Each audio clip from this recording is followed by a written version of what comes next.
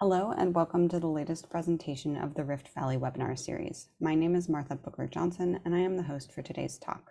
If you are participating in the live webinar, you can submit questions or comments in the chat module of the Zoom application at any time during the presentation, or ask a voice question by raising your hand once the presentation is complete. Today's speaker is Husna Mashaka. Husna is interested in paleobotany, paleoecology, paleoenvironments, and community archaeology currently a PhD student in the School of Human Evolution and Social Change in the Institute of Human Origins at Arizona State University. She holds a BA in Heritage Management from the University of Dar es Salaam and a master's degree from the Department of History and Archaeology at the University of Nairobi, Kenya. She's a research leader with the Kondoa Deep History Partnership, along with Dr. Catherine Ranhorn at Arizona State University and a graduate assistant at the Koobi Fora Field School. Please join me in welcoming Husna as she gives her talk, Vegetation Reconstruction During the Holocene Period in East Turkana Basin Using Phytolith Analysis. Thank you, Martha. Yeah, okay. Okay, as Martha said, uh, my name is Husna Mashaka, PhD student uh, at Arizona State University. So I'm going to present my work, and this work was for my master's. Um, it's about paleoenvironmental reconstruction of Holocene vegetation in East Africa to uh, in East Turkana. So introduction, like uh, we all know, like okay, during the Holocene period, clim uh, there was a climatic change, dramatic climatic change uh, from from uh, shifting from wetter condition to drier condition. Uh, so even people changed their subsistence uh, from fish and other lake resources to domestication. So in uh, Koobi Fora, uh, there is a domest uh, this pastoralist group, the Daasanach. They still live in that place. And these people have a tendency of moving from one place to another, seasonal. So they have specific place they move, like during the dry season, during the wet season, uh, to search for green, uh, greener pasture for their animals.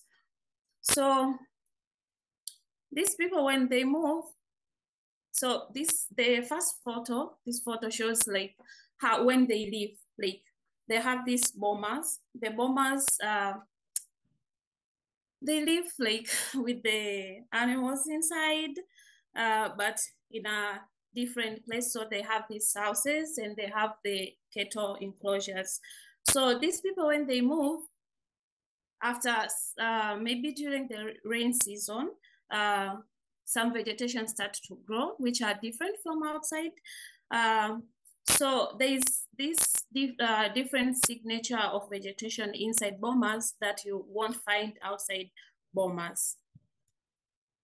So this study was in Lake Turkana and two sites, Ileret and Karari. And samples were collected uh, in uh, different places, and this map shows all the places I collected samples. So for this stud, I used phytolith. Uh, phytolith are silica cells formed when silica is deposited around or within cells and form, uh, form cells, cell replicas or cast through transpiration. So this is how the phytolith form in a leaf or uh, in a bark.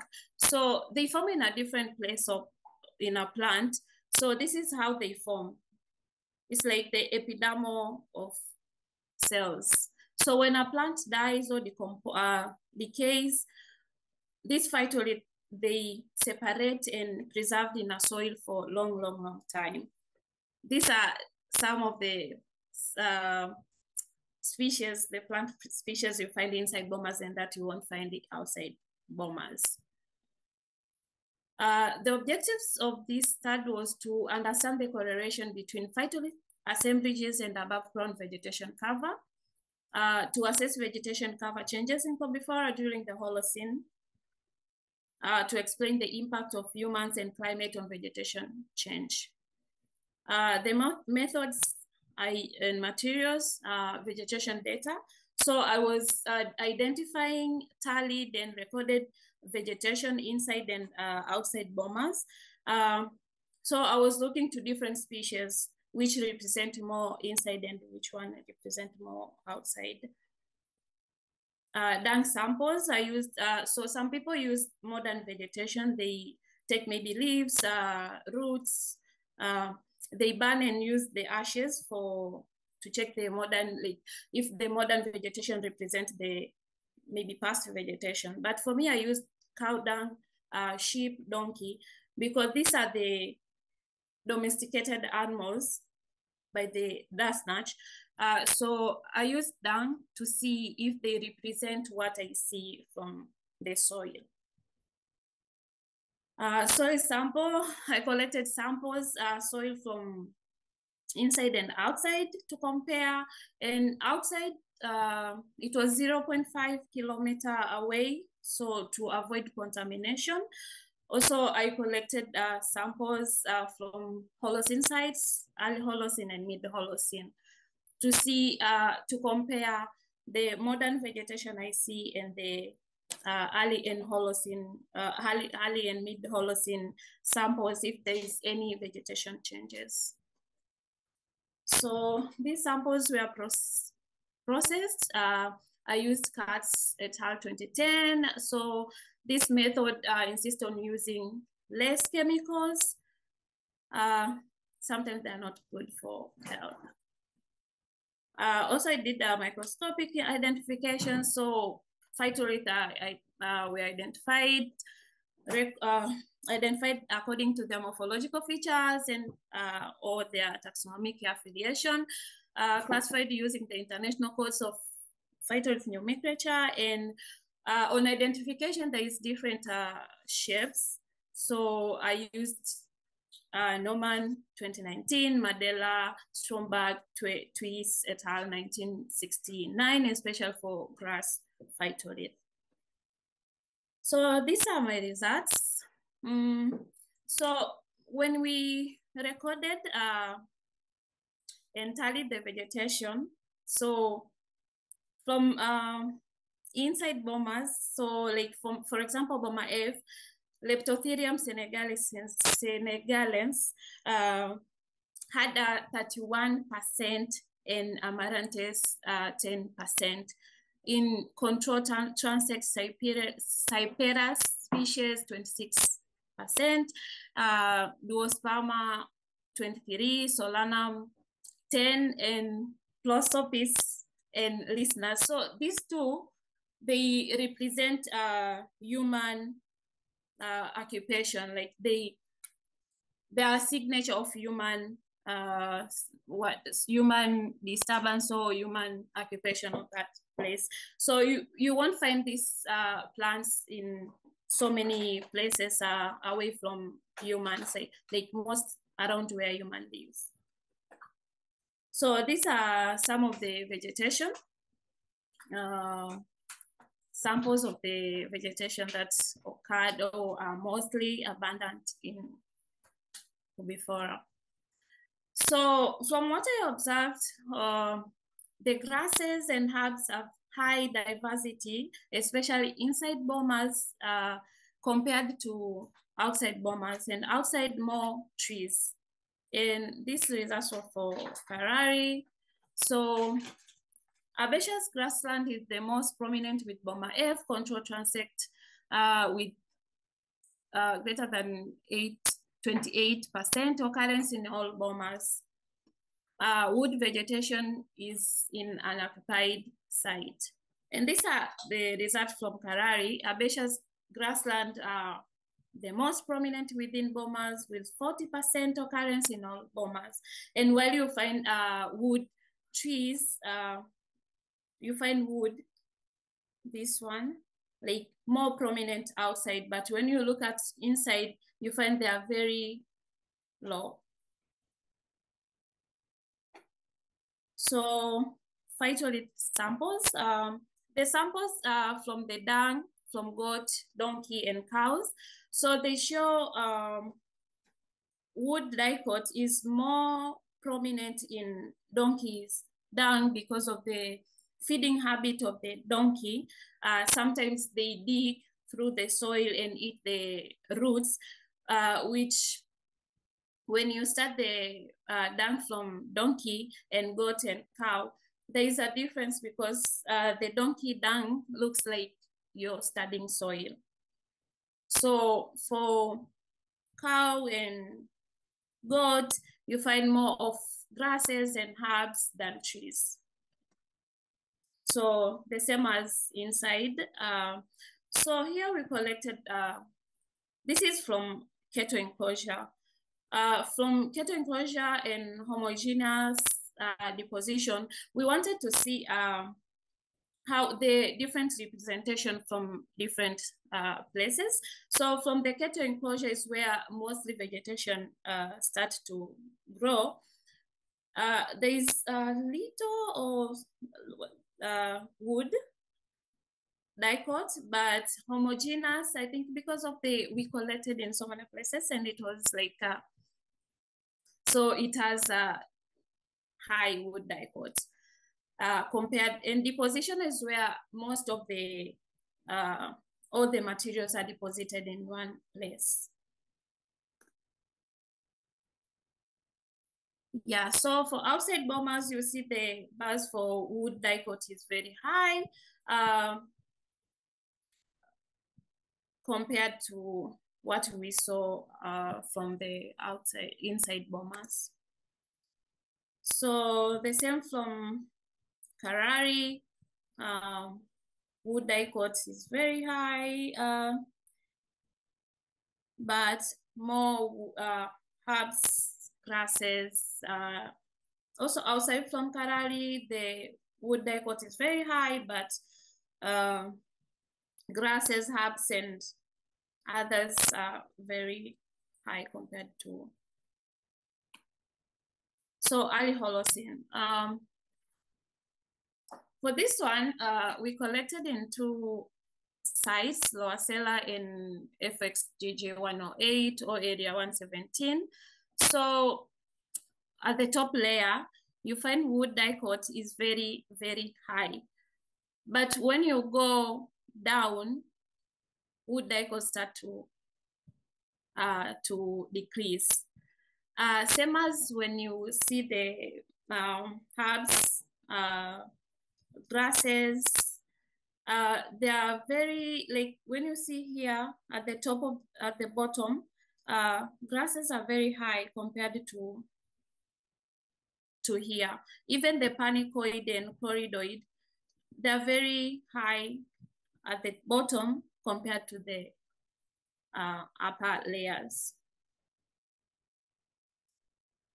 So for mid-Holocene, uh, also uh, it shows uh, grasses uh, are very high than compared to wood dicot.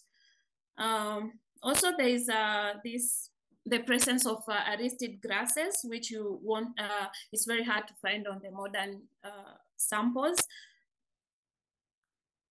So these are some of the phytolith I, I saw from the microscopic uh, identification. And this is rondel, this is short grass, short grass cells, and this is sage phytolith, and this is bulliform. The bulliforms are phytolith that cannot give you the signature of uh, C3 or C4, but they're from grasses and they represent water, uh, uh, water source. Then this is Verocase sphere, but also I saw non-vegetational uh, signature phytolith. Uh, this is diatoms from water, and most was more prominent uh, in samples from Lowasera because uh, this I think the site was under water. So to, to understand the climate, the aridity, and which one between the grasses and wood dominated in that place. So we used phytolith index and the IPH index is aridity index and all samples show high dominance of chloridoid grass indicating high aridity because when the chloridoid grass are very high, then it indicates the places high aridity. For example, uh, fire pit samples indicate high aridity value of 0.5, while pest control indicates low aridity. Uh, and this is most like the pest control was burnt after a rain season, which had more panicoid phytolith in the dung, while the fire pit one was burnt during the dry season. Uh, on the part of the pest control, they does not have this tendency of uh, burning, uh, like to control the pests. So they burn the areas where the these kettles uh, live uh, in kettle enclosures. So we collected sample from fire pit and the pest control to see the representation. So deep, uh, DP, this uh, uh, indicate which one is high between grass and wood. And so all samples indicated low wood phytolith. Uh, vegetation cover shifted to less grassland with a few panicoid and chloridoid with rare aristid. So as I said, like uh, most samples, the early and mid Holocene uh, aristid is very uh, common, but very rare at the modern times. Uh, burnt phytolith observed more uh, wood delivered with correlated correlates which correlates with the microcharcoal observed. Uh, uh, this indicates human activities. Uh, conclusion. So the phytolith data correlate with the vegetation on the above ground. Herbaceous grass and environment with a mix of few trees. In all bomas, grass and herbs have high diversity than other species, while wood species are more outside. So assessment of the changes in vegetation cover in Koobi Fora, the data indicate indicated that indicate that there has been a sig significant variation in vegetation cover in Koobi Fora during the Holocene. Uh, human activities have positively impacted vegetation change. Uh, the social cultural practices have significantly influenced the dynamic in vegetation cover, particularly within designated uh, bomas area. So microcharcoal observed and plant phytolith are the results of human activities. Um, so for, for, for the microcharcoal, uh, the samples were collected from the fire pits uh, most of them shows uh, wood uh, wood phytolith than the grass phytolith. The, the grass phytolith are very low and probably to where it was used for uh, starting the fire, but wood was used for cooking. But most of them are indicated uh, wood, uh, like uh, dry wood. So thank you. Thank you very much for your presentation. We can now begin the question and answer section. The question and answer section will be open to voice questions as well as written questions. If you would like to ask a question, just raise your hand in the nonverbal controls present underneath the participant panel, and I will send you a request to unmute. If you prefer to ask a written question that is also still possible, you can do so using the Zoom chat module, and as usual, I will read out the question. Please remember that the webinars are recorded so that if you ask a question, this will be part of the recording and will be released on the YouTube channel. Go ahead, Bonnie. Thanks for the talk. I really enjoyed it. It's not not nothing I would ever imagine myself looking at these little bitty phytoliths, but it's that's really cool.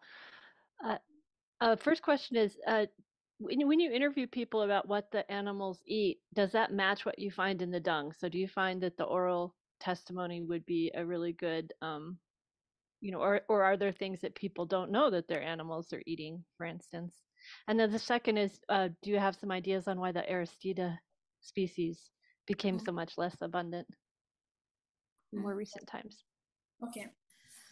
Uh, so for the interview I did asking about the uh, like what animal eats or what they don't eat, yeah, uh, they they relate with the phytolith I see because uh, they say like uh, when a rain when uh, during the rain season the first uh, plants to to grow most some of them uh, even the uh, the kettles they don't eat so and there are some plants like the kettles or the cow's dung they don't eat.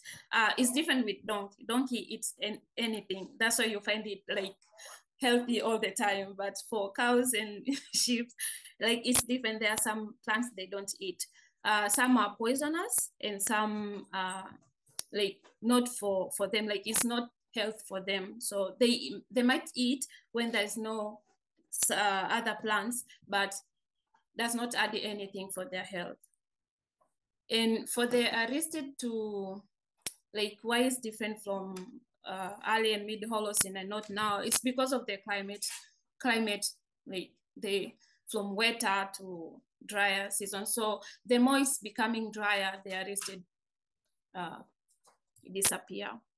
Well, I, I just remember the name Aristida from the Kalahari, so I thought it was in a lot of really dry places. But I guess there's a lot of different types of it, most likely. So um, that just surprised me that it wouldn't do well in the dry area or or disturbed areas. Um, Uh, okay, I, I can say because of the vegetation, they adapt different in different uh, places, and also they like they differ in in terms of areas. So like uh, some you find them in dry, some we find them in uh, uh, wet environment. So for, uh, the case of Koobi Fora is because of the trending drier, like it's becoming now like humid or yeah, that's why the it. the aristid is not present at the moment. If nobody else has a question, I'll ask another, which is there must be some phytoliths that look the same, like you can't tell certain species apart. Like if there were a phytolith you wish you could tell apart, what would that be? I think for most of them now, I I know. Okay, there is um like uh, similarities between close phytolith and bilobate phytolith. So you you have to concentrate on the lobes because they differ uh, in lobes and they are the what the time thing here like the west or the uh, between the bilobates and the cross. Yeah, those are they look kind of similar but not similar. You have to check the. You have to be very careful with the lobes because the cross looks like a cross and but sometimes you find some of them looks like bilobates. So So, if I understood correctly, the bomas are uh, like areas for where animals graze, essentially. Do I understand that correctly? uh, so bomas are pastoralist homestead. Okay. but the way they build it, like they live with the uh, animals, like there are place for uh, animals and there's place for people. So it's like a huge, uh, what homestead? Yeah.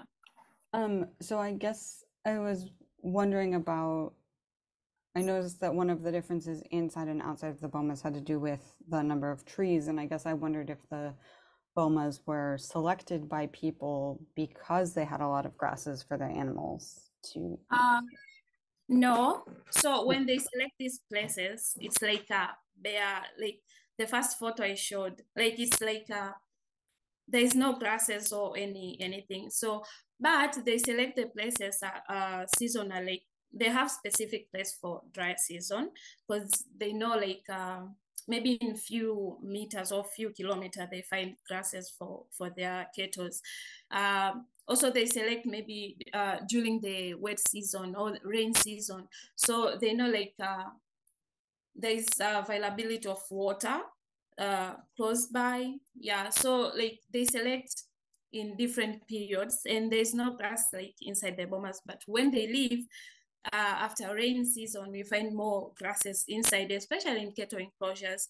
But after when like the drier, when it becomes drier, the species becomes less. So you find more during the rain season, but when it becomes drier, like there's less species, especially mm-hmm. inside bomas. So, but the uh, the soil becomes nutrients, the nutrients from the cow dung. So, like when it rains, the vegetation starts again. But when it becomes drier, the heat and they dry. Yeah. And fun enough, like this time, uh, even the vegetation species change. Like last time I went, like I knew like there are some specific plants you find inside, and now it's like different. You find the amaranthus that is edible, and even the Daasanach. Some of them were taking the edible to eat. So yeah, they keep changing, and you won't find it outside bomas, only inside. I, mm. I was wondering that, so I looked up the prosopis, which you said was much more common in the bomas, that that's an invasive uh, plant um, from the Americas. Do we know when that arrived in Africa? Uh, I don't know when, and they're not specifically inside bomas, but around the areas where people live. So uh, I don't know when. Maybe I, sh- I should check on that. Because I don't imagine it was brought intentionally, but just accidentally. Mm-hmm. Uh, okay. So I know Risnas communities are very common, especially in town areas than the Koobi Fora. But they, they're present, but they are not so, so many. And even I, at first time, I was like, wow, so I can find this uh, tree here and not in, in town only. So Okay, there's a question in the chat um, from Katie, Katie Ranhorn. Can you talk a bit about how areas in Kondoa, like around Disa, will compare to the BOMA study for studying plant change over time in terms of human impact? Uh, okay, so I think for the case of Kondoa, it's different.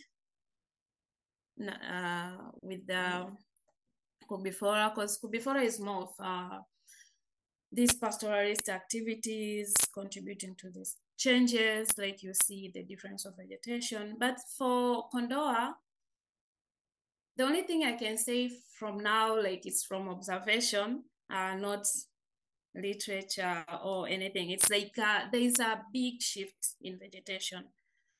Um, they say like around I think 1950s or during the colonial period, like there was a time people were given land, like you maybe to, yeah, to start your houses.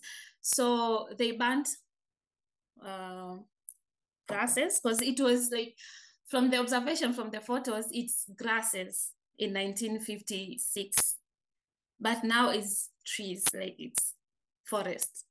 So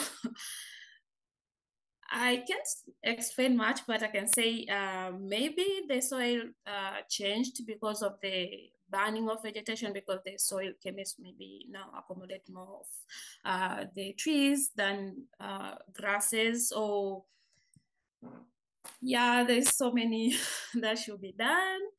So yeah, but uh, human uh, play some part because they tend to they do this um, they burn trees for charcoal uh, they go to these reserve areas and countries. so like everything is changing and you see like the human contribute to these changes but i can say in scientific way because i haven't proved yet Are there phytoliths of the different uh, tubers, like the Vigna species? Yeah, so okay. Phytolith, they give you, they are very good at telling the grasses, especially C3 and C4, but they can't tell you about the trees, like which specific trees. So, mm, like more maybe you add with the you pollen. So, because pollen, they give you the specific uh, tree. Yeah, I'm thinking about like in the Hadza, former Hadza areas that used to have a lot of Vigna or Mhm. tuber vin of different uh, species that might not be called Vigna anymore. That's the name I know from 30 years ago, um, where people create took away a lot of the trees to make charcoal, and now those the areas are not good for finding very much in Mhm. the tubers anymore. Um, Mm. but yeah, so that yeah, I think of silica being more like, especially like yeah, grasses and horsetails and things like that, having a lot of Yeah, you- silica.